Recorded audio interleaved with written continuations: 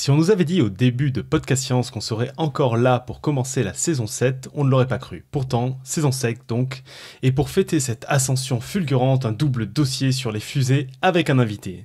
Nous sommes le 20 septembre 2016 et nous sommes dans l'épisode 268. Bienvenue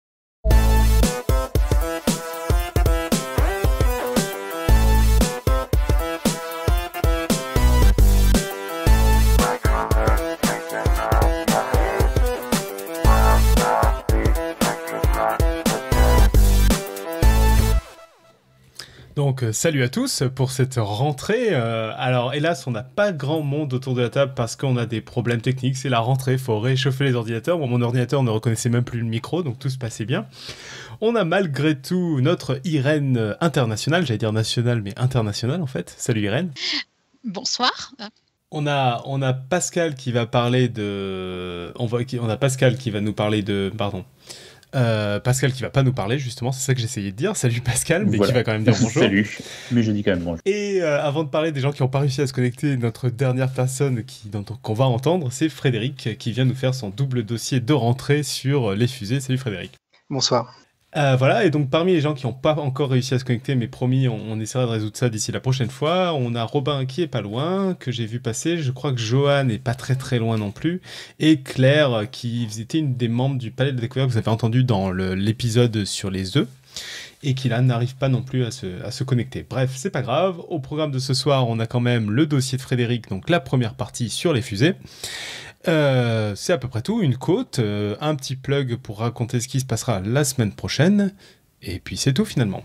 Donc, euh, ben, on est reparti, saison 7, épisode 268. Oui, c'est dommage, c'est dommage qu'on n'est on pas clair. Quoi. Moi, j'aurais bien aimé présenter les nouveaux membres de l'équipe, c'est quand même dommage. Hein.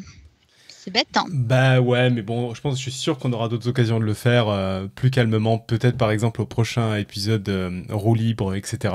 Bon, bref, c'est pas grave. On va laisser Frédéric commencer son dossier et peut-être qu'à la fin de l'émission, on aura, on aura euh, Claire, etc. Donc Frédéric, la parole est à toi. Alors, sur Podcast Science, on a parlé de satellites, de sondes et plus précisément de voyageurs et de Hubble, mais jamais de comment on envoie quelque chose dans l'espace.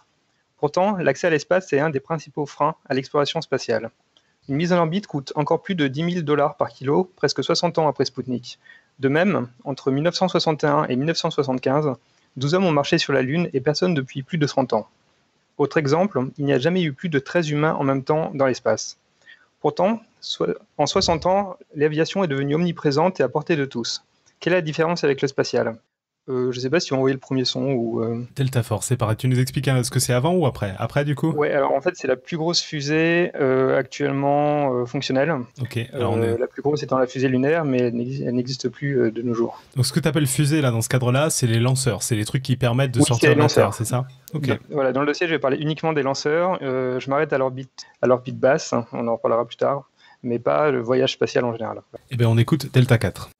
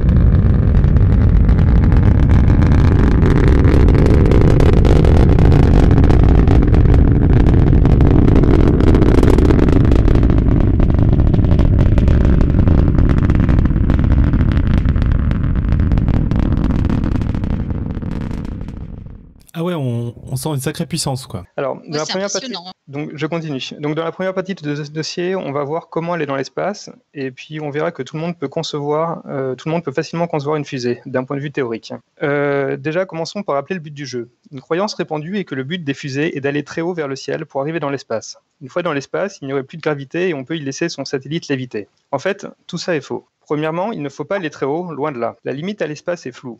Elle n'est pas facile à définir avec exactitude car l'atmosphère ne s'arrête pas d'un coup, mais voit sa densité décroître petit à petit avec l'altitude. La limite de l'espace est définie arbitrairement à 100 km pour les traités internationaux. À cette altitude, les effets aérodynamiques peuvent être considérés comme négligeables pour de courtes périodes. En réalité, à part Spoutnik et quelques satellites éphémères, Rien n'est placé à moins de 400 km sous peine de retomber sur la Terre en quelques mois. La station, spatiale, euh, spatiale internationale se trouve à 400 km et les satellites de communication ou d'observation terrestre sont habituellement placés entre 600 et 800 km d'altitude. Et en fait, malgré, malgré cette altitude, ils ont quand même des moteurs qui les aident à, ne pas descendre trop, trop quoi. Ils, corrigent au fur et à mesure euh, leur perte d'altitude, non? Oui, euh, c'est ça. Ils ont des petits moteurs parce que euh, il y a des résidus d'atmosphère qui les freinent et en fait leur altitude décroît avec le temps. Euh, la station spatiale internationale perd pas mal de kilomètres et à chaque fois qu'un cargo vient la ravitailler, elle il remonte le niveau de la station. Et c'est uniquement parce qu'elle peut être ravitaillée qu'elle est placée si basse. Ok. Donc on appelle cette plage d'orbite l'orbite basse. Alors, 100 km, ce n'est vraiment pas, pas grand pour l'espace. À titre de comparaison, la Terre fait 6400 km de rayon. La Lune, elle, est à 384 000 km en moyenne. La distance à l'espace, en proportion, c'est seulement 1,5% du rayon de la Terre et 0,026% de la distance Terre-Lune. Ensuite, il y a de la gravité dans l'espace. À 100 km d'altitude, la gravité est encore 93% de la gravité à la surface de la Terre. Si on lance une fusée vers le haut, jusqu'à atteindre 100 km ou plus, une fois le carburant épuisé, elle va finir par retomber. On peut donc, se demander pourquoi les satellites ne tombent pas. En fait, ils tombent, ils tombent même sans cesse. Imaginez la situation suivante.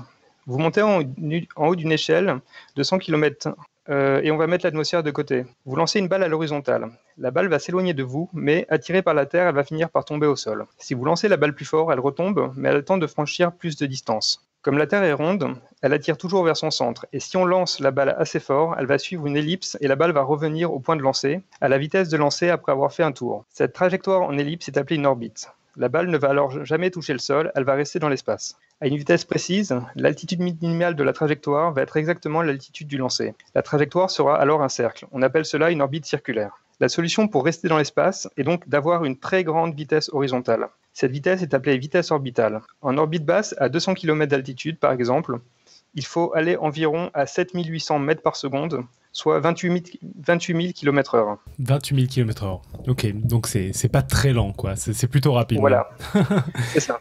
Euh, et, d'accord. Et du coup, si on va plus lentement que ça, en fait, tôt ou tard, on, s'écrase sur la Terre. Si on est à 200 km plus lentement que ça, en fait, le point le plus bas de la trajectoire ne sera pas 200 km. Et euh, du coup, on va passer dans l'atmosphère et ralentir et donc perdre de la vitesse et à chaque fois redescendre et descendre jusqu'à en fait euh, tomber. D'accord. Donc non seulement il faut qu'elles aillent haut les fusées, mais qu'elles prennent une sacrée vitesse. En fait, c'est comme si faut qu'elles rejoignent une autoroute, donc il faut qu'elles arrivent à accélérer suffisamment dans la bretelle d'autoroute pour aller rejoindre l'orbite, quoi. Voilà. En fait, aller haut, c'est uniquement parce pour justement éviter d'être freiné par l'atmosphère, mais justement pour tenir en orbite, il suffit d'avoir de la vitesse. Sur la Lune, on peut être, euh, comme il n'y a pas d'atmosphère, on peut être des orbites beaucoup plus basses parce que euh, dès qu'on est au-dessus du, relief et des montagnes, finalement, on peut se mettre en orbite. D'accord. Il faut se rendre compte que cette vitesse est vraiment très très grande. Un, vaisseau en orbite à 200 km fait le tour de la Terre en seulement 88 minutes. Euh, pour résumer, pour aller rester en orbite, le but n'est pas uniquement d'aller vers le haut, mais surtout d'aller très vite horizontalement. Et c'est pour ça qu'en fait, la plupart des satellites d'observation et l'ISS, c'est des choses qui passent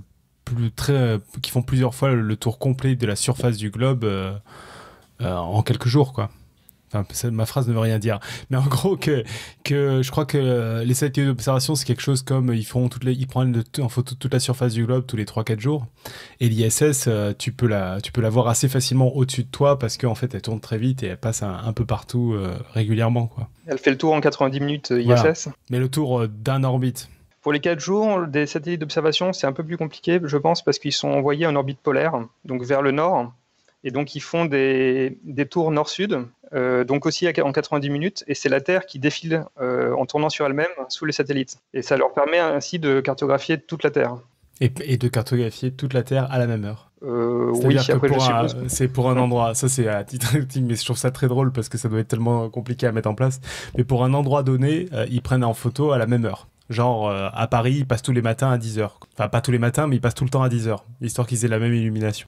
Euh, c'est possible. Après, on, peut mettre sur la trajectoire d'une durée variable en augmentant l'altitude. Ouais. Pour se caler euh, en fonction de, de l'usage. D'accord. En orbite, la position importe peu, mais la vitesse est essentielle.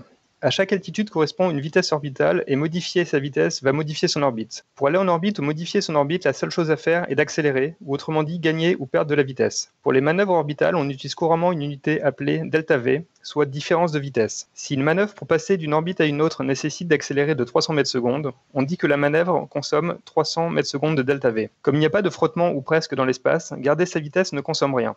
Par contre, gagner 300 mètres secondes ou perdre 300 mètres secondes demande la même quantité d'énergie. Une fois lancé, un vaisseau spatial peut parcourir des millions de kilomètres sans allumer ses moteurs. L'autonomie d'un vaisseau n'est donc pas habituellement euh, exprimée en kilomètres, mais dans sa capacité à modifier sa trajectoire ou son orbite, et donc en delta V. La manœuvre pour atteindre une orbite basse de 200 km d'altitude depuis la surface nécessite un delta V d'environ 10 km par seconde. Cela inclut 7,8 km par seconde pour atteindre la vitesse orbitale, et le reste est utilisé pour monter, et compenser quelques pertes dont je parlerai plus tard. Cela signifie que les fusées doivent avoir la capacité d'accélérer suffisamment pour passer d'une vitesse de 0 à 10 km par seconde. Euh, aller en orbite basse terrestre est l'une des parties les plus coûteuses en delta V pour voyager dans l'espace.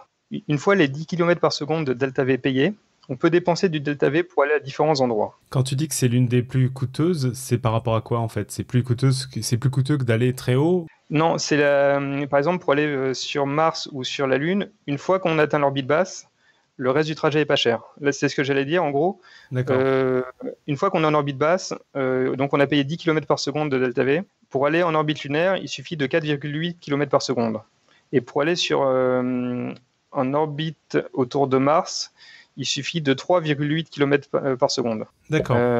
Donc ça, ça veut dire qu'en fait, toutes ces fusées-là, même si elles vont à des endroits très différents, elles consommeront pas tellement différemment, elles auront quasiment autant de carburant, quoi. Euh, ouais, en fait, exactement parce que tu es en kilomètres secondes, donc il faut rajouter les secondes quand même. Mais oui, en fait, euh, on va dire que au moins, enfin les deux tiers, par exemple, pour aller sur Mars, les deux tiers du trajet, euh, même plus, les trois quarts du trajet, c'est juste aller en orbite basse. D'accord. Après, aller, aller dans le reste du système solaire, c'est moins, moins cher. Ça justifie toute une partie des délires de dire on va faire des, des, des bases de lancement sur la Lune, parce qu'au moins on n'a plus besoin de sortir de l'orbite basse. Quoi. Oui, même si la Lune, c'est une c'est globalement une mauvaise idée parce que c'est très, euh, c'est quand même assez gros et c'est assez coûteux de revenir et de, partir. Comme, euh, comme ça en parle dans la chatroom, je voulais pas en parler, je pensais que j'étais trop geek, mais on est au moins deux à connaître. Il y a Inti qui fait une remarque qui dit qu'il a appris tout ça qu'à sa Kerbal Space Program.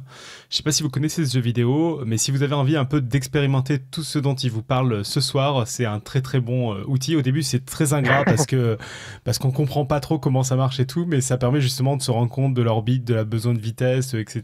C'est très sympa tout, ce dont je vais parler euh, là peut être expérimenté dans Kerbal Pass Programme, ça marche extrêmement bien. Oui, et juste une anecdote amusante, euh, c'est moins coûteux euh, d'aller se poser sur les lunes de Mars et de revenir que d'aller sur la Lune parce que justement la Lune, c'est quand même assez gros, et donc ça consomme beaucoup de delta V pour se poser dessus et beaucoup de delta V pour repartir. Donc, euh, donc en fait, en termes de, de delta V, euh, les lunes de Mars sont plus proches que la Lune. D'accord, donc c'est ouais, assez contre-intuitif en effet. Parce que finalement, en fait, c'est se rapprocher des choses massives qui consomment beaucoup d'énergie, et pas vraiment se balader dans le vide ou euh, quand on est loin des astres. donc, euh, maintenant qu'on sait que pour aller en orbite et se balader dans l'espace, il faut du delta V, autrement dit de la capacité à accélérer, il faut trouver comment accélérer. Dans sa deuxième loi de la mécanique, Newton nous dit que pour accélérer, il faut appliquer une force. D'autre part, dans la troisième loi de la mécanique de Newton, on apprend que si on applique une force à un objet, il nous applique en réaction la même force dans la direction opposée. Cela veut dire que si vous poussez un mur en étant sur un skateboard, le mur va exercer une force sur vous et vous allez accélérer. Le mur va aussi accélérer, mais la terre est lourde donc ça ne se verra pas trop. Il faut toujours deux corps pour accélérer. Un piéton ou une voiture va s'appuyer sur le sol qui va le pousser en retour pour avancer ou s'arrêter. Un avion en réaction va pousser les gaz qu'il pousse derrière lui euh, pour être poussé en retour vers l'avant. Les fusées n'ont pas de chance. Sauf au tout début de son vol, une fusée passe la majorité du temps dans le vide ou dans une atmosphère très peu dense. Elle ne peut pas compter sur des objets extérieurs ou de l'air pour s'appuyer et accélérer. Elle doit faire tout le travail avec ce qu'elle contient.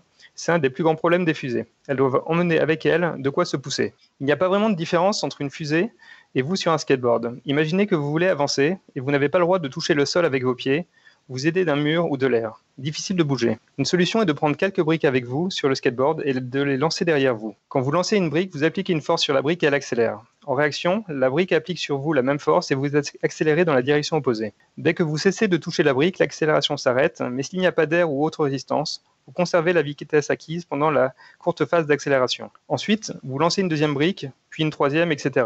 À chaque, lancer chaque lancer, vous allez accélérer un petit peu et votre vitesse va augmenter brique après brique. Plus vous avez de briques à lancer au départ, et plus vous pourrez gagner de vitesse. De plus, si vous lancez les briques plus fort, elles vont partir plus vite. Le fait de lancer une brique plus fort applique une force plus grande et le gain de vitesse sera plus important. Donc, pour le même nombre de briques à lancer, plus vous allez lancer vos briques à grande vitesse et plus le delta V sera élevé. Une fusée fonctionne pareil. Elle contient de la matière à lancer derrière elle et elle essaye de lancer cette matière le plus vite possible. Envoyer de la matière à grande vitesse derrière soi nécessite de l'énergie. La solution utilisée dans les fusées est de prendre une source d'énergie chimique via une combustion. Une combustion est une réaction chimique qui met en jeu deux produits, un carburant et un comburant. Dans le moteur d'une voiture, le carburant est l'essence et le comburant est l'oxygène contenu dans l'air injecté dans le moteur. Les fusées embarquent du carburant mais aussi du comburant car l'oxygène de l'air n'est pas utilisable avec la faible densité de l'air en altitude. Dans une fusée, le carburant et le comburant sont appelés des ergols.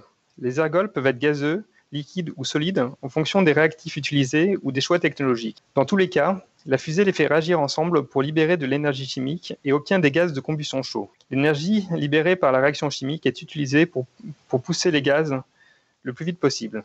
Les gaz de combustion sont la masse éjectée que la fusée lance derrière elle pour accélérer. Si, euh, si je reformule ce que tu as dit, euh, Frédéric, euh, donc on utilise en gros de la chimie en mélangeant un carburant et enfin en faisant réagir un carburant et un comburant pour faire l'équivalent de lancer les briques derrière nous. Euh, et du coup, essayer, réussir à faire avancer cette foutue fusée dans un endroit où il n'y a, où y a rien sur quoi pousser. quoi. C'est ça, oui. Moi, j'aime beaucoup l'idée d'essayer de, de, se faire avancer en, en lançant des briques d'un skateboard. Ouais, il y a beaucoup de gens qui sont pas convacus dans la chatroom, qui disent que eux, sur un skateboard, ça aurait sans doute beaucoup de différence avec une fusée, quoi. Au niveau ah, stabilité, etc. Il y a du frottement, mais ouais. Ouais, ouais, si. Enfin... on, va calculer euh, après pour voir à quel point c'est efficace. Très bien. Euh, donc je reprends. Euh, la vitesse de la masse de gaz éjectée dépend principalement de la densité énergétique des réactifs choisis pour la combustion. Plus ça explose fort et plus les gaz seront propulsés vite en dehors de la fusée, lui transmettant ainsi plus de vitesse en retour. On peut voir ça avec, en exemple, les deux couples d'ergols les plus utilisés dans les fusées, le dihydrogène liquide ou le kérosène raffiné, tous les deux associés au dioxygène liquide. L'hydrogène brûle, euh, l'hydrogène liquide brûle avec l'équation suivante deux molécules de dihydrogène plus une molécule de dioxygène donnent deux molécules d'eau. Cette réaction a une densité énergétique de 15,7 MJ par kilo. Cela signifie qu'un kilo de réactif aux bonnes proportions génère 15,7 MJ d'énergie et produit un kilo d'eau très chaude sous forme de vapeur. Cela représente assez d'énergie pour faire monter d'environ 3700 degrés un litre d'eau. Le kérosène, lui, est un peu plus compliqué. Il est composé de plusieurs hydrocarbures comme C10H22. Après la réaction avec le euh, dioxygène, il va générer de l'eau et du CO2. Cette réaction a une densité énergétique de 10,2 MJ par kilo, soit sensiblement moins que le dihydrogène liquide.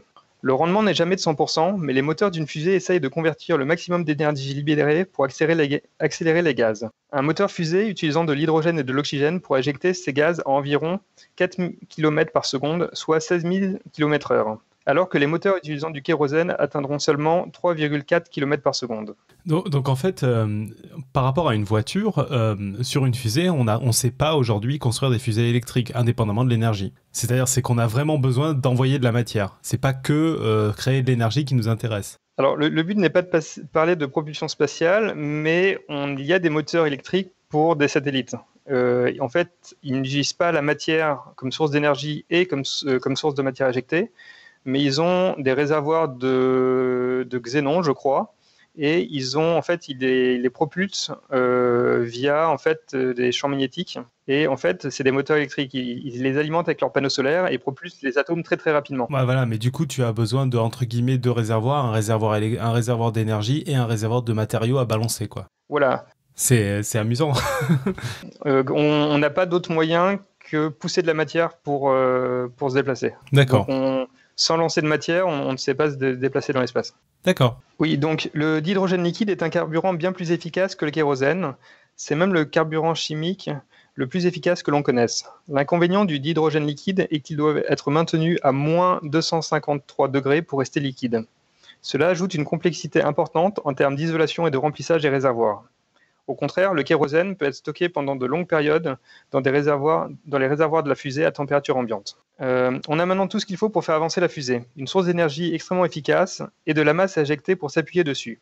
Il ne reste plus qu'à construire la fusée. Si on ressort la deuxième loi de Newton, elle dit force est égale à masse fois accélération. Ou dans un sens plus adapté pour nous, accélération est égale à force divisée par la masse. Une fusée est principalement constituée de moteurs, de réservoirs, d'éléments structurels pour tenir l'ensemble, mais aussi de la charge utile qui peut être un satellite, une sonde, un cargo ou un vaisseau habité. La force est fournie par l'éjection des gaz à grande vitesse par les moteurs de la fusée. À pleine puissance, ils fournissent une force globalement constante. Vu l'équation, plus la force sera grande et plus l'accélération sera élevée. La masse est celle de la fusée à chaque instant. Au décollage, il faut ajouter à la masse de la fusée vide la masse des ergols contenus dans les réservoirs. Plus la fusée, est massive et plus l'accélération sera faible pour la même force. Et là se trouve un gros problème. La fusée va devoir accélérer son propre carburant. Pour bien comprendre le problème, on va reprendre notre skateboard avec un sac de briques à lancer. On va considérer qu'on est dans le vide pour ne pas être gêné par l'air. Si le sac de briques contient une seule brique et qu'on lance celle-ci, la force de réaction doit accélérer uniquement le skateboard et le lanceur. Si le sac contient deux briques, la première brique lancée doit accélérer le skateboard, le lanceur, mais aussi la deuxième brique encore dans le sac. La masse à accélérer avec la même force et euh, est plus importante, donc cette brique est un peu moins efficace. Elle donnera moins de delta V que la seconde brique. Si le sac contient 100 briques, la première brique lancée devra accélérer les 99 briques qui restent dans le sac, produisant un delta V très faible. On sent bien que si on veut doubler le delta V, que l'on peut atteindre en skateboard en lançant des briques, il ne va pas suffire de doubler le nombre de briques. Augmenter trop la quantité de carburant risque de devenir assez rapidement inefficace. En 1897, ce que, tu décris là, c'est un vrai problème Shadok en fait. Quoi. C'est que on prend plus de masse pour avancer plus vite, et puis plus on essaie, plus on a de la masse, plus il faut qu'on en prenne. Enfin, c'est c'est un, exactement un jeu qui, finit jamais quoi. C'est exactement le problème, et ça finit, euh, ça peut finir très très mal. Hein. C'est ce qu'on va voir. Donc en 1897, Konstantin Tsiolkovsky a publié une équation qui permet de calculer simplement le delta V généré par n'importe quelle fusée ou skateboard lanceur de briques. Cette équation fondamentale en astronautique est appelée équation de Tucholsky ou requête équation. Euh, cette équation est courte, donc je vais la lire, mais ce n'est pas important de la comprendre. Donc, le delta V est égal à la vitesse d'éjection des gaz multipliée par le logarithme népérien de la masse totale de la fusée divisé par la masse à vide. Sans rentrer dans les détails, cette équation dit que le gain de vitesse de la fusée ne dépend que de deux choses la vitesse d'éjection des gaz et le pourcentage de la masse de carburant par rapport à la masse totale de la fusée. On peut déduire de l'équation que le delta V est directement proportionnel à la vitesse d'éjection des gaz, d'où l'importance de prendre des ergols très énergétiques ou de lancer les briques très fort. La masse totale de la fusée n'a aucune, influence sur son delta V. Ce qui compte, c'est uniquement le pourcentage de la masse de la fusée prise par les ergols. Mais contrairement à la vitesse d'éjection des gaz, le delta V n'est pas proportionnel au pourcentage de masse. Augmenter ce pourcentage n'améliore que très lentement le delta V. Il faut ajouter beaucoup de carburant sans alourdir le reste de la fusée pour augmenter un peu le delta V. Pour parce se rendre compte de... Parce qu'on a un logarithme, et donc euh, le logarithme pour, mémoire, euh, je crois qu'on en avait déjà parlé dans le podcast, il me semble, mais euh, le logarithme de 10, ça fait 1, le logarithme de 100, ça fait 2, le logarithme de 1000, ça fait 3. Donc ça veut dire qu'à chaque fois qu'on multiplie par 10, on ajoute 1, euh, on ajoute un multiplicateur d'un au, delta V. Donc si on veut, donc par rapport à ce que tu disais tout à l'heure, si on était à, si on avait un delta V qui valait la vitesse d'éjection, si on voulait aller deux fois plus vite, il faudrait en fait multiplier par 10 la quantité de, carburant qu'on met. Oui, et, euh, oui, et d'augmenter la quantité de carburant sans avoir alourdi la fusée. Donc, pour se rendre compte de l'inefficacité de l'ajout du carburant supplémentaire pour une fusée, on va appliquer l'équation de Ski à notre skateboard. Imaginons que le skateboard plus le lanceur fasse 70 kg. C'est la masse à vide. On commence par prendre un sac de briques de 50 kg. C'est la masse des ergols. Le lanceur est capable de lancer les briques à 30 km/h, c'est l'équivalent de la vitesse d'éjection des gaz pour notre fusée. La masse totale du skateboard chargé est donc de 120 kg, donc les ergols représentent 41% de la masse totale. L'équation de Tsiolkovsky nous dit que cela permet d'avoir un delta V égal à 53% de la vitesse d'éjection de la masse. Lancer les 50 kg de briques à 30 km/h permettra donc d'atteindre la vitesse de 16 km/h. Avec 100 kg de briques, on atteindra 26 km/h, soit 10 km/h de plus. Avec 150 kg de briques, on atteindra 34 km/h, soit 8 km/h de plus. On voit que chaque paquet de 50 kg de briques ajoutées est de moins en moins efficace car les briques ajoutées doivent aussi être, doivent aussi être accélérées. En fait, se propulser de cette façon est tellement inefficace que même si on lançait la masse de la Terre derrière le skateboard, on atteindrait seulement un vingtième de la vitesse nécessaire pour aller en orbite. Donc euh, c'est vraiment important d'avoir une. Là, c'est parce que la vitesse d'éjection est, pourrie, ce que, ce que tu racontes. Voilà, c'est ça. Mais en fait, c'est pour montrer que globalement, si on n'a pas des moteurs qui envoient les gaz assez vite, on aura beau ajouter du carburant, euh, même sans lourdir le skateboard, parce que bon, là, il faudra un skateboard avec plusieurs remorques. Euh, eh ben, on n'arrivera pas à atteindre des delta V élevés en fait. On a quelques questions déjà pour toi. Je, te propose on, que je, t'en pose quelques-unes parce qu'il y en a qui sont sur le tout début de ton dossier. Alors euh, d'ici la fin de l'épisode, on, aura un peu oublié. On a une question de Julien qui dit quel est l'intérêt de mettre la station internationale si basse si après il faut la ravitailler en carburant C'est parce que euh, ça demande moins de delta V au cargo d'y aller. Parce que comme on a besoin d'amener des des équipages, des vivres et des choses euh, comme ça, euh, il ne faudrait pas que chaque cargo dépense beaucoup d'énergie pour y aller. C'est parce qu'on n'a pas besoin d'amener que du carburant, on, doit, on, se passe notre temps à aller dessus. Sinon, il y a une euh, histoire aussi de sécurité des, astronautes, parce que il faut, si c'est trop haut, après il y a de plus en plus de radiation, je ne sais pas.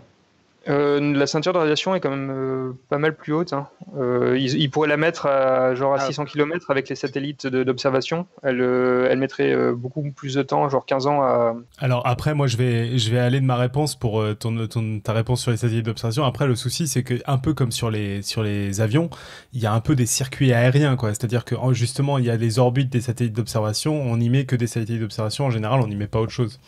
Et il y a un peu une, j'ai l'impression qu'il y a un peu un fonctionnement aussi d'orbite pour pas que, euh, surtout s'il y a des allers-retours à faire en, navette pour pas qu'il y ait des problèmes, quoi. Mais non, mais tu sais bien, t'as vu Gravity, euh, toutes les stations internationales et Hubble sont sur la même orbite. Ouais, il suffit de regarder à droite, elle bouge pas.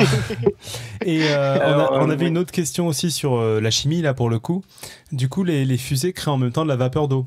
La grosse fumée blanche qu'on peut voir, c'est de la vapeur d'eau. Euh, oui, c'est essentiellement de la vapeur d'eau. Euh, oui, Par exemple, une fusée, donc euh, comme, enfin, ça dépend. Une fusée comme Ariane. Alors, ouais, je réfléchis. Là, justement, la Delta 4 hein, Heavy, dont on a eu le son, elle, effectivement, c'est que de la vapeur d'eau. Après, il y a beaucoup de fusées qui ont euh, des boosters à poudre. Et là, c'est pas que de la vapeur d'eau. Il y a beaucoup de composants qui font de la fumée blanche, mais qui n'est pas de, qui n'est pas vraiment de la vapeur d'eau. D'accord. Donc, euh, c'est difficile de, de séparer. Mais euh, et sinon, on a une question de David Lorero sur et les voiles solaires, ça n'a pas de carburant, non? Et je mettrais même dans la, dans la catégorie des, des, entre guillemets carburants alternatifs, il y a tout ce qui est les, les effets gravitationnels qu'on peut utiliser pour accélérer, non? Qui sont deux sujets différents, les voiles solaires et puis les, effets gravitationnels. Oui, alors euh, là je parle essentiellement toujours des lanceurs. Euh, il y a pas mal de pistes en propulsion spatiale. Euh, les voiles solaires, en fait, on se pousse sur les, sur les photons, entre guillemets, et en fait, après, on peut pas partir de, de la Terre avec des effets gravitationnels. On peut avoir des, profiter un peu d'énergie en passant près, des, près de certains astres, mais on on peut pas vraiment partir de la Terre il me semble, ça Johan, tu vas me corriger, mais dans, qu'il en avait parlé dans l'épisode sur Voyager, parce que je crois que l'objet euh, humain qui a voyagé le plus vite, c'est Voyager. Euh, et non, que c'est. suis pas sûr. C'est ah celui qui a voyagé le plus loin, mais le plus vite, euh, je me demande s'il y en a. Parce que le plus vite, c'est des effets de sonde gravitationnelle. Ouais, justement, mais il me semblait que c'était pas Voyager qui avait eu des effets de fronde à, à, à multiples et qui du coup avait été justement assez vite. Et quand, du coup, enfin, pour conclure sur ma, même si c'est pas lui, il me semblait que la chose qui voyait, la vitesse la plus grande qu'on avait atteint dans l'espace, c'était grâce à de la fonte gravitationnelle, pas, pas grâce à de la, chimie de propulseur, quoi. C'est Juno qui va le plus vite rapidement depuis, euh, depuis assez récemment, parce que Juno donc vient d'arriver en orbite de Jupiter et elle était en 2013 avec son, elle a fait un effet de fronde en passant près de Jupiter Terre, non, autour de la Terre, et elle est devenue la plus rapide avec une vitesse de 25 miles par seconde. Et donc euh, Frédéric, tu disais oui, en effet les propulseurs vont, vont, pas aussi vite, mais euh, eux ils ont, mais il se trouve qu'on peut pas utiliser la fonte gravitationnelle pour sortir de la Terre. Oui, mais, euh, mais typiquement avec des, des moteurs électriques, en fait eux ils ont une vitesse d'éjection des gaz qui est énorme à côté de, à côté des propulseurs chimiques. Donc ils mettent beaucoup de temps à accélérer, ils ont des très très très faibles poussées, mais si on a le temps, en fait, on peut atteindre des vitesses qui sont vraiment euh, très très grandes. Et on a une remarque aussi de Didier Mazal qui dit que la vapeur d'eau, donc la fumée blanche, c'est vrai pour la vapeur d'eau du moteur Vulcain, mais pas pour celle des boosters. Euh, Je ne sais pas si tu confirmes. C'est aussi blanc, mais c'est pas de l'eau. Oui, alors je connais pas les réactions chimiques de, dans les boosters. Euh, il est possible que dans les sous-produits il y ait de l'eau ou pas du tout, je sais pas en fait. Mais euh, voilà, mais par contre, euh, la Falcon 9 euh, ou par exemple la, ben, Saturn 5 là, qui est en illustration au début du dossier, euh, là, ben, c'est du kérosène, donc il y a de, de l'eau et du CO2, mais le CO2 on ne le voit pas. Donc en fait, c'est essentiellement de la vapeur d'eau qu'on voit. les fusées lancent leur gaz de combustion bien plus vite que 30 km/h, mais elles doivent aussi accélérer leur carburant. Une fusée avec une masse à vide de 5 tonnes et plus de 5 tonnes d'ergol et une vitesse d'éjection des gaz de 4 km par seconde peut espérer un delta V de 2,7 km par seconde, soit moins d'un tiers de ce qu'il faut pour aller en orbite. Au final, l'équation de Tucholsky nous dit que pour atteindre 10 km par seconde de delta V, nécessaire pour une mise en orbite, avec une vitesse d'éjection de, des gaz de 4 km par seconde, il faut un rapport de masse de 12,5. Autrement dit, peu importe la taille de la fusée, si notre moteur éjecte les gaz à 4 km par seconde, il faut que les agoles représentent 92% de la masse de la fusée. Malheureusement, ce n'est pas aussi simple d'ajouter du carburant jusqu'à atteindre le bon ratio.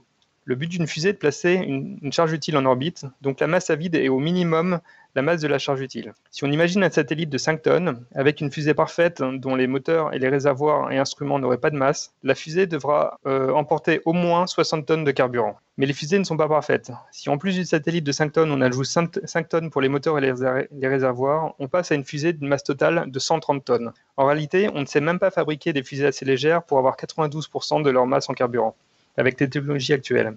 Les réservoirs contenant ces tonnes de liquide sont gigantesques et lourds. Par exemple, le réservoir orange de la navette spatiale, qui est un simple réservoir sans moteur ou charge utile, pèse 25 tonnes à vide à lui tout seul. Les moteurs nécessaires pour faire décoller de telles masses sont gros et lourds. Le moteur Vulcain de la fusée Ariane 5 pèse par exemple 2 tonnes. Il faut ajouter aussi à ça toute la structure qui tient l'ensemble, les câbles, les systèmes électriques, etc. On ne sait pas techniquement réaliser des fusées dont 92% de la masse de carburant de la masse et du carburant avec des moteurs qui atteignent 4 km par seconde. On ne sait pas atteindre de cette manière les 10 km par seconde de delta V nécessaires à une mise en orbite. Bon, il se trouve qu'on arrive bien à aller en orbite. Il y a une astuce pour augmenter le delta V sans meilleur moteur ou meilleurs matériaux. Le problème pour atteindre des delta V élevés est qu'à la fin de la mise en orbite, alors que la fusée est presque vide, elle doit tout de même accélérer de grandes masses constituées de réservoirs vides et de moteurs puissants et lourds dimensionnés pour pousser la fusée alors que celle-ci était pleine. Accélérer cette masse est un énorme gaspillage d'énergie et donc de carburant. La solution est de séparer en plusieurs petites accélérations euh, l'accélération plutôt qu'en une grande. S'il n'est pas possible de faire une fusée qui s'aile en orbite d'un seul coup, on sait faire une fusée qui fait la moitié du chemin, soit 5 km par seconde. Si on sait faire une fusée qui fait la moitié du chemin, on peut faire une deuxième fusée plus grosse qui fait l'autre moitié du chemin et qui a comme charge utile la première fusée. C'est ce qu'on appelle les fusées à étage. La fusée du bas décolle, mais quand il n'y a plus de carburant dans les réservoirs de ce premier étage, la fusée se coupe en deux. Les moteurs du deuxième étage sont alors allumés. Le deuxième étage pèse moins lourd que la fusée totale, donc sa structure est plus légère. De plus, les moteurs du deuxième étage sont aussi moins lourds car ils ont besoin d'être moins puissants, ce qui rend l'ensemble encore plus léger et efficace. Donc chaque kilogramme de carburant du deuxième étage sera beaucoup plus rentable en termes d'accélération qu'un kilogramme de carburant utilisé pour le premier étage. Si on sépare en deux étages qui doivent fournir chacun 5 km par seconde de delta V, le ratio de masse de chaque étage doit être seulement de 73% de carburant, ce qui est bien plus accessible que les 92%. On peut ainsi empiler plus d'étages. Les étages inférieurs doivent être énormes car leur charge utile est très lourde vu qu'il s'agit de la masse de tous les étages supérieurs. Mais le ratio de masse à atteindre lors de la construction de la fusée est alors raisonnable. Les fusées orbitales ont au moins deux étages, mais beaucoup ont trois étages ou même quatre étages. Les satellites ont aussi souvent un moteur et des ergols et peuvent être considérés comme un étage supplémentaire. Chaque étage supplémentaire augmente la masse, la complexité et le coût de la fusée. Il faut développer des moteurs différents pour chaque étage, des systèmes de contrôle, des systèmes de séparation, etc. Chaque séparation est une opération risquée et il faut faire un compromis entre le nombre d'étages et la simplicité de la fusée. Euh, là, il y a potentiellement un son, euh, une séparation de booster de navette spatiale, mais je ne sais pas si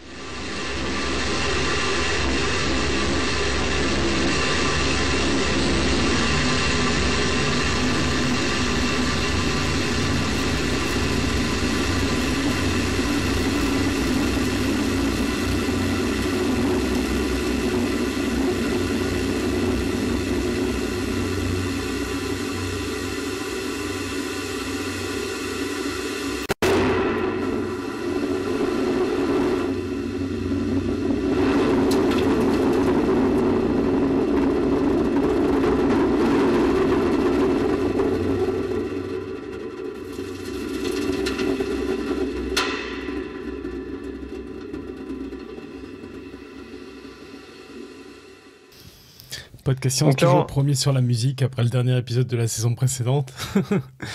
et donc là, c'est c'est le petit, la petite explosion au milieu qu'on a entendu qui est la séparation, c'est ça? Oui, on entend le booster en marche avec euh, de moins en moins de bruit au fur et à mesure qu'on monte dans des couches peu denses de l'atmosphère et donc le son se propage moins. Et puis l'explosion, c'est euh, les boulons explosifs qui, euh, qui cassent les, les, liens entre les moteurs, le, la navette spatiale et les boosters.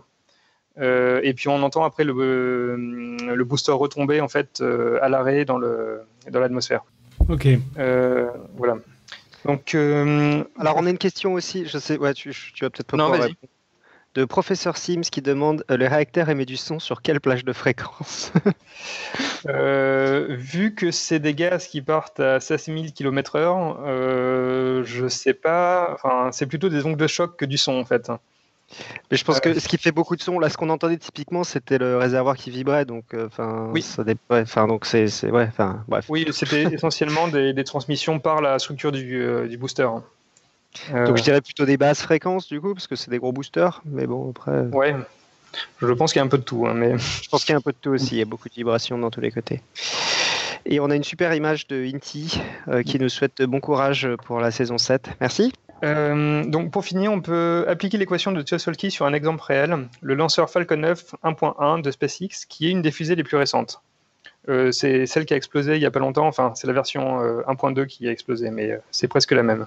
Euh, ce lanceur est simple, il n'a que deux étages, il est capable d'emmener environ 13 tonnes en orbite basse. L'étage supérieur pèse seulement 5 tonnes et doit porter les 13 tonnes de charge utile. Cet étage contient 73 tonnes d'ergol et le carburant représente donc 80% de la masse de l'étage. Ces moteurs utilisent du kérosène et la vitesse d'éjection des gaz est de 3,3 km par seconde. L'équation de Tsosolki donne un résultat de 5,4 km par seconde de delta V pour cet étage, soit un peu plus que la moitié du trajet pour euh, l'orbite. L'étage inférieur pèse 28 tonnes et contient 411 tonnes d'ergol. Il doit porter les 91 tonnes de l'étage supérieur plein et qui compte dans la masse à vide du premier étage. Euh, le carburant représente donc 77% du poids de l'étage, qui donne un delta V de 4,9 km par seconde.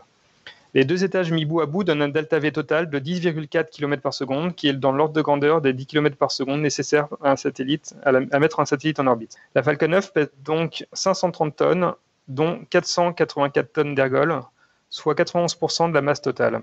Sans la séparation en étages, avec les mêmes moteurs, la fusée n'aurait fourni que 8,1 km par seconde de delta V, et n'aurait pas atteint l'orbite. En tout cas, les 13 tonnes de charge utile ne représentent au final que 2,5% de la masse de la fusée, qui mesure 70 mètres de haut. Donc c'est vraiment des bombes, quoi, ces, ces fusées. Hein. Oui.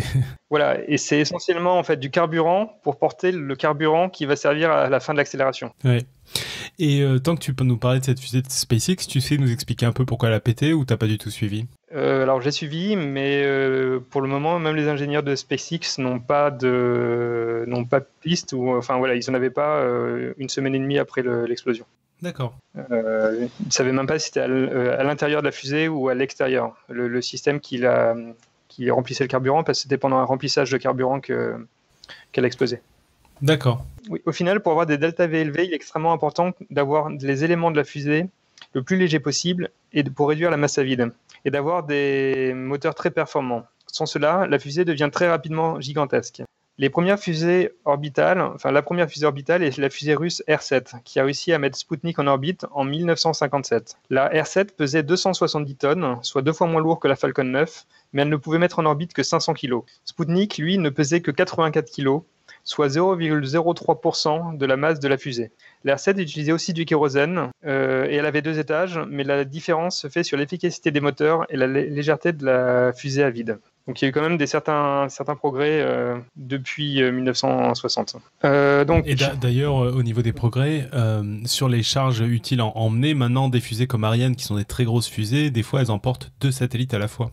Oui, et surtout, il y, a eu, enfin, il y a pas mal de progrès dans la miniaturisation des satellites et euh, on commence à faire des satellites moins gros pour faire les mêmes fonctions. Euh, et par exemple, euh, SpaceX a dû lancer ben, il y a quelques jours des satellites Iridium.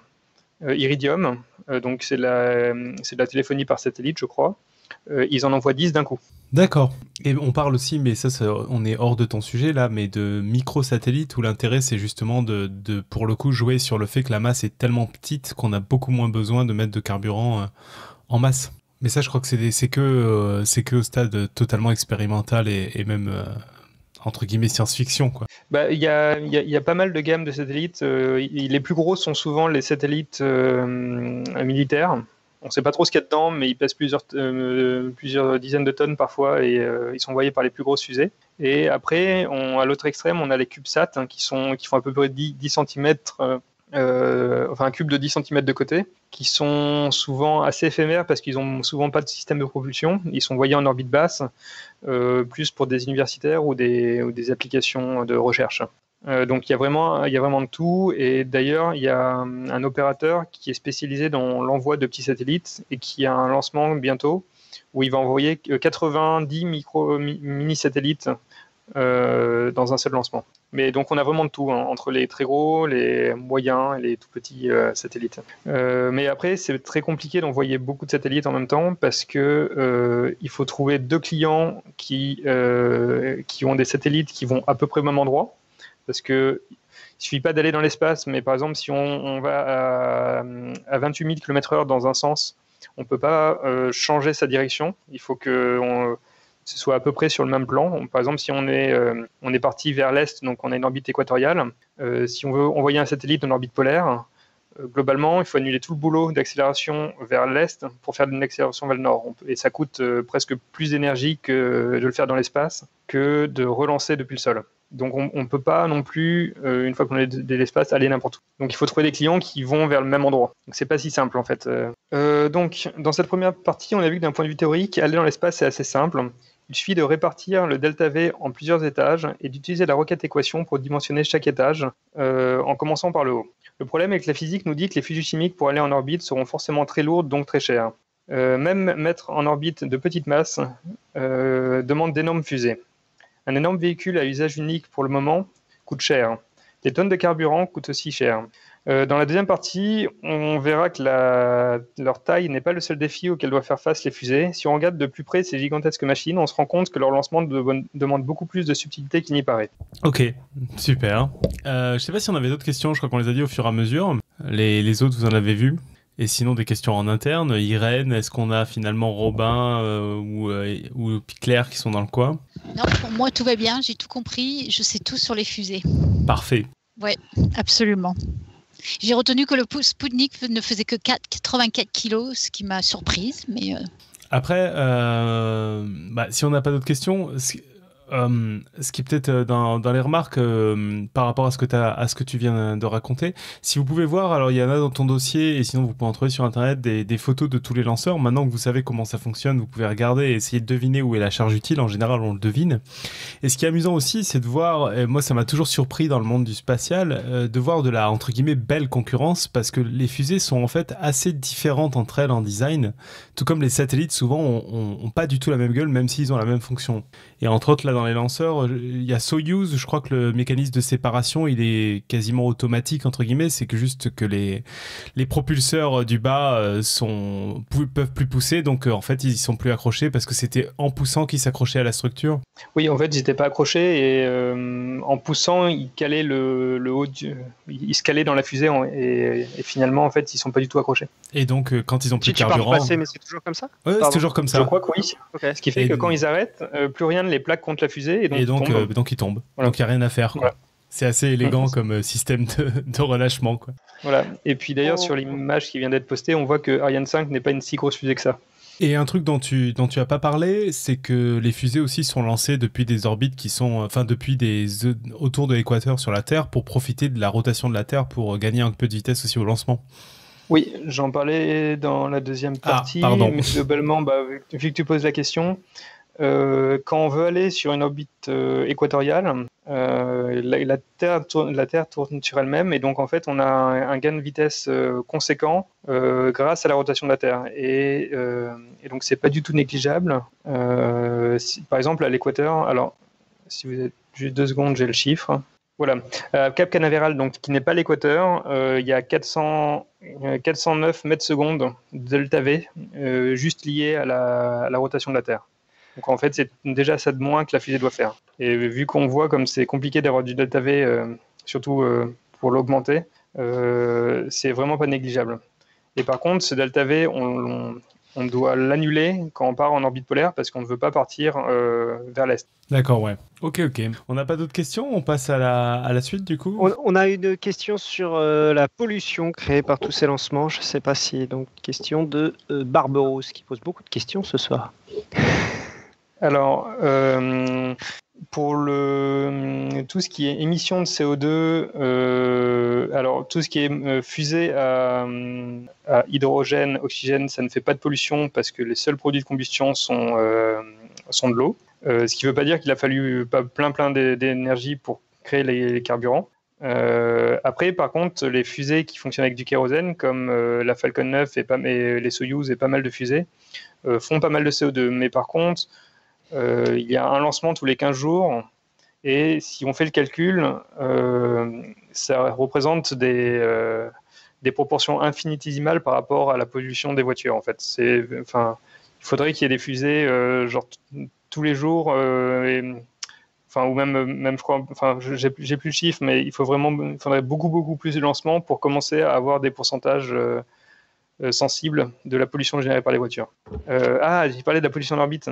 On parle, oui, dans, dans, la foulée, en fait, il parlait aussi de la pollution en orbite, oui. D'accord. Alors, euh, les lanceurs font souvent pas trop de pollution en orbite, euh, dans le sens où le premier étage, en fait, n'est pas en orbite, lui.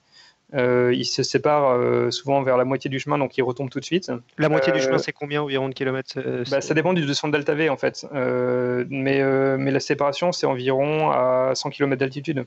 Et il, re, il retombe dans, dans, les 10 minutes après la séparation, lui. Ok, voilà, donc est... souvent dans l'eau, pour par exemple pour les fusées aériennes, ils retombent dans l'Atlantique, quoi. Ouais, même pour toutes les fusées, je crois pas qu'on s'amuse. À... Ah non, à part en Chine, oui. En Chine, je crois qu'ils le font, ils font tomber les étages parfois euh, un peu ah, euh, dans, dans leur désert, mais. Avec Konour, il n'y a pas trop d'eau à proximité, donc. Euh... Ouais, c'est vrai. Bah, je sais pas. Euh, on je sais pas où il y a des images. T'as aussi étage. une partie de ces débris-là qui sont vachement détruits dans l'atmosphère, hein, je crois. Alors, pas le premier étage. Ah le ouais. premier étage va, va pas assez vite. Ah oui. Euh, et il monte pas vraiment assez haut. Il est, abîmé, mais il n'est pas totalement détruit dans l'atmosphère. Euh, par contre, le deuxième étage, lui, euh, il y a plusieurs options. Soit il est en orbite basse, et dans ce cas, soit il, retombe parce qu'il ne s'est pas totalement mis en orbite, ou qu'il est en orbite basse, donc il va en quelques semaines retomber et se désintégrer dans l'atmosphère. Soit il reste un peu de carburant et se désorbite lui-même pour justement éviter de, enfin pour contrôler le, la chute et aller tomber dans l'océan pour éviter de baisser euh, avec des débris. Par contre, quand les, les, euh, les deuxièmes étages, ou enfin le dernier étage, parce que c'est pas toujours le deuxième, euh, amène un satellite en orbite géostationnaire, donc c'est à 36 000 km de distance. Euh, il n'a pas assez de carburant pour redescendre sur Terre, et là, c'est une, une, orbite où il faudrait des, euh, des centaines d'années, si ce n'est plus, pour, euh, pour retomber sur Terre par, euh, à cause des, résidus d'atmosphère. Donc là, en fait, il va juste faire une petite manœuvre pour se mettre en, dans une orbite qui s'appelle l'orbite poubelle, qui, je, sais, je crois que c'est un petit peu au-dessus de l'orbite géostationnaire. Euh, où tous les deuxièmes étages qui mené des satellites en orbite géostationnaire vont se caler pour pas gêner les autres.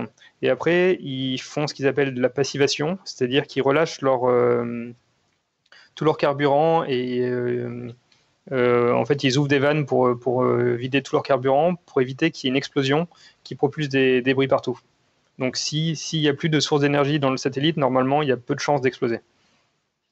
J'ai mis un lien là. Il y avait, euh, il y a très récemment, il y a une euh, au-dessus de l'Utah, il y a un réservoir qui se, qui est retombé dans l'atmosphère et ça a fait plein de, une jolie étoile filante. Donc euh, ça a été filmé. Oui, j'ai. Sur, la question des, des, débris, on peut et sur la partie non lanceur justement.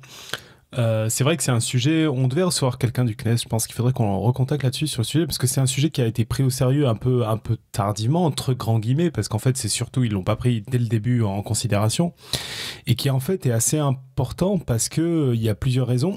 D'abord, bah, les débris sont souvent en orbite, donc ça veut dire des choses qu'on fout en orbite vont pouvoir se les prendre et c'est souvent des choses, euh, les trucs qu'on met en orbite comme les satellites sont pas des trucs hyper solides quand ils se reçoivent un débris.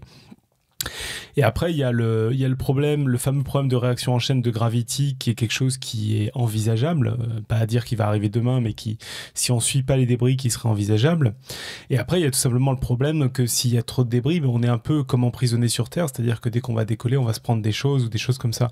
Et c'est pour ça que les débris maintenant sont suivis, et c'est pour ça qu'on devait recevoir quelqu'un du CNES, parce que je crois que euh, on a recensé tous les débris de plus de 10 cm dans l'espace.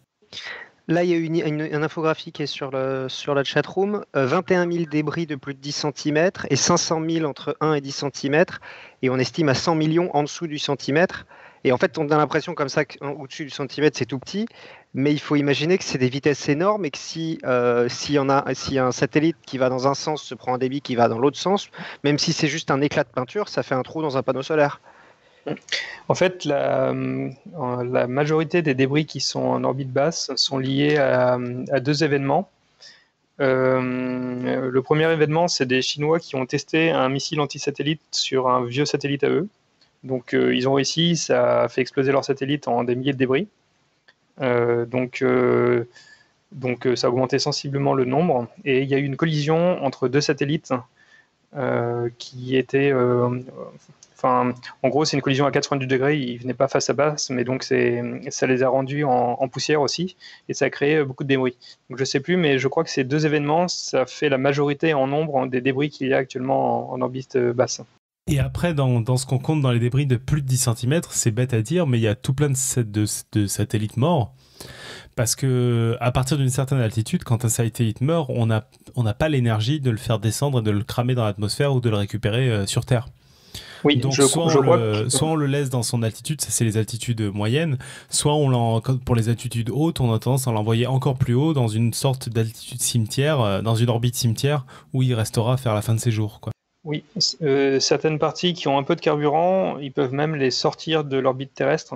Par exemple, les troisième étages de euh, Saturne V, donc pour les missions lunaires, après avoir envoyé leur, les modules vers la Lune, eux, ils allaient au-delà de la Lune pour partir en fait loin de la Terre en fait. Donc euh, ils, restaient même pas en orbite. Donc ils devenaient, euh, ils vivaient leur vie dans le système solaire après. Euh, mais par contre, les gros satellites, ça pose pas trop trop de problèmes parce que finalement, c'est facile à, à, suivre avec des radars. Il n'y a pas trop de surprises. Il n'y en a pas tant que ça par rapport à l'étendue de l'espace parce que c'est vraiment quand même très très grand. Et, donc, il y a une très faible probabilité de collision. Et en fait, la plupart des satellites ont des moyens d'évitement, c'est-à-dire qu'ils font des manœuvres quand il y a un risque pour changer leur trajectoire. Euh, la ISS aussi, quand, il y a des, quand les radars indiquent qu'un débris risque de passer un peu proche, euh, ils, font des manœuvres pour, euh, pour augmenter un petit peu leur, orbite ou descendre pour éviter. Et même dans des cas où ils n'ont pas trop le temps de faire ça, ils vont se réfugier dans les vaisseaux pour qu'au cas où il y a un impact, ils puissent repartir vers la Terre. Mais pour le moment, il n'y a pas de problème. Il n'y a eu que des petits, petits débris, mais rien de, rien de grave. Ok.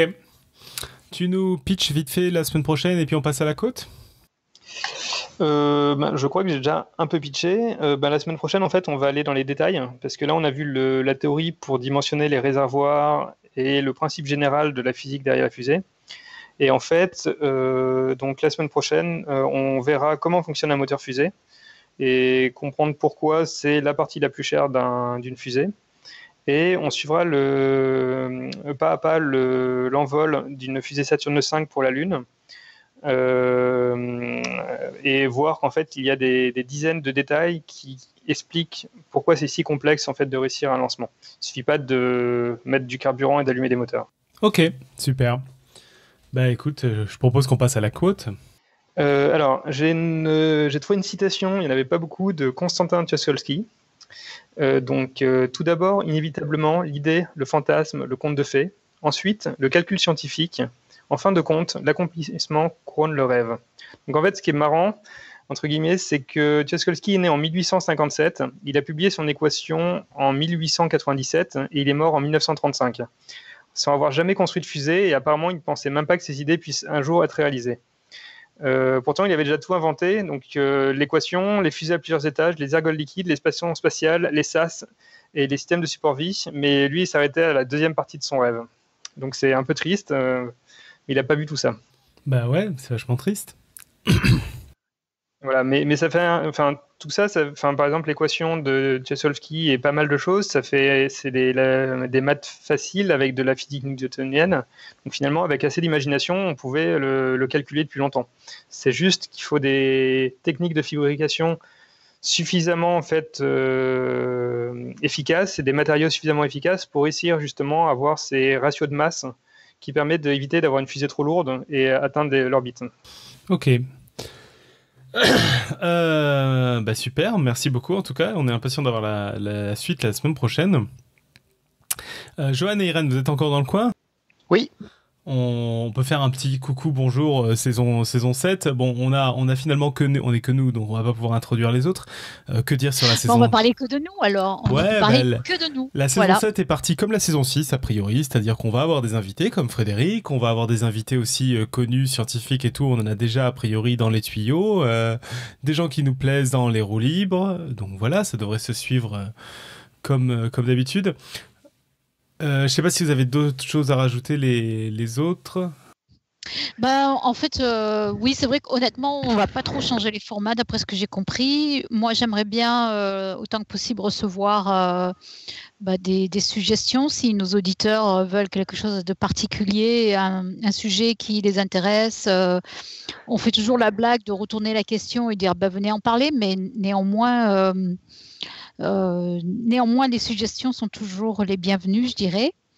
Euh, on a aussi quelques, quelques membres euh, qui, qui, ont rejoint le groupe et j'ai hâte de les, de les faire connaître à tout le monde. Et puis, ouais, je crois que c'est surtout, c'est ça redémarre sur le chapeau de roue. C'est ça. Moi, je voulais rajouter juste deux mots sur le, Patreon. Ça fait un peu longtemps qu'on n'a pas parlé du Patreon, voire même qu'on n'a pas trop fait de retour. Alors, on est, on a un petit souci avec Patreon. Ils nous demandent plein de papiers américains pour euh, parce que euh, il se trouve que c'est une entreprise américaine, etc. On est en train de les régler. On espère que ça va se régler. On, on est aidé heureusement pour ça. Donc voilà, on espère que, et, ce qui veut dire aussi accessoirement pour le côté très pragmatique que pour l'instant on ne touche pas d'argent sur le Patreon. C'est un peu con. Euh, voilà. Donc c'est pas très grave parce qu'aujourd'hui on a encore un peu des restes du, PayPal et, on n'a pas des gros besoins financiers urgents. Mais euh, voilà, c'est juste pour vous dire que c'est pour ça qu'on parle pas beaucoup du Patreon. Euh, reste qu'on a quand même envie d'organiser des trucs cette année, donc on espère qu'on va pouvoir finalement toucher cet argent. Euh, c'est en cours. Voilà, Tout ça, on a plein d'argent, on est bourré de fric. non, non, c'est pas vrai. C'est la, c'est la podcast. Envoyez-nous tout votre argent. C'est la podcast monnaie. ben, en fait, justement, ce que j'étais en train de dire par là, c'est euh, voilà, le Patreon, on n'en parle pas trop. Pour l'instant, on a, on a, on a des sommes en attente sur le Patreon qui sont assez élevées. Euh, donc non, peut-être pas envoyez-nous tout votre argent parce que si on a 5000 inscriptions sur le Patreon, là, bon, de toute façon qu'on n'aura pas au vu de nos auditeurs, euh, ce serait un peu con si on n'arrive pas à le débloquer. Mais voilà, on est dans une situation un peu à la con où il faut qu'on arrive à produire des papiers officiels pour les Américains pour qu'ils bien nous, nous envoyer ça. Putain, ces Américains. Pour le fisc américain. Hein. T'es américaine, toi, Irène? Oui, je suis américaine. Mais je suis euh, française aussi. Hein. voilà, je sais pas si tu as d'autres choses, euh, d'autres choses, Johan. Euh, non, bah, non bah, on est très content de commencer la saison 7 et comme, comme, comme Irène a dit, ouais, si, n'hésitez pas à nous envoyer des petits mots si vous avez des idées d'émissions, des idées de sujets. Et, et, ouais, ça nous fait toujours super plaisir de recevoir des nouveaux messages. Attends, attends, j'ai pas fini, j'ai pas fini, j'ai une annonce à faire. Non, enfin, non, non, mais c'est pas, c'est pas, pas, très important. Mais c'est, je sais pas si les gens savent, mais c'est moi qui m'occupe de la newsletter. Et, euh, et pourquoi vous rigolez hein Parce que tu as mis un accent qu'on n'entend jamais en français. Tu as dit news, newsletter, alors que c'est normalement ah. newsletter, quoi. La, news, ah la newsletter, quoi. newsletter, quoi. Et. Euh, et donc, si vous voulez voir le format changer, le contenu surtout, euh, pareil, moi je suis très euh, en attente de vos suggestions. Et si vous n'êtes pas abonné à notre newsletter, n'hésitez pas à vous abonner à notre newsletter, ok? Voilà. Euh, bon, bah en tout cas, vous savez tout maintenant sur la théorie des fusées. La semaine prochaine, vous saurez tout sur la pratique, comment ça se passe dans la pratique et est-ce que ça suffit de mettre une grosse bombe sur un sous un satellite pour l'envoyer dans l'espace? Frédéric nous en dira plus. Teasing, je crois que ça ne suffit pas. Et voilà, et sinon, bah, d'ici là, on est très content de commencer la saison 7. On est impatient de passer une autre saison complète avec vous. Envoyez-nous vos dossiers ou simplement vos idées de dossiers si vous avez des questions irrésolues Et on se retrouve donc la semaine prochaine, mardi comme d'habitude à 20h30. Et d'ici là, que servir la science soit votre joie.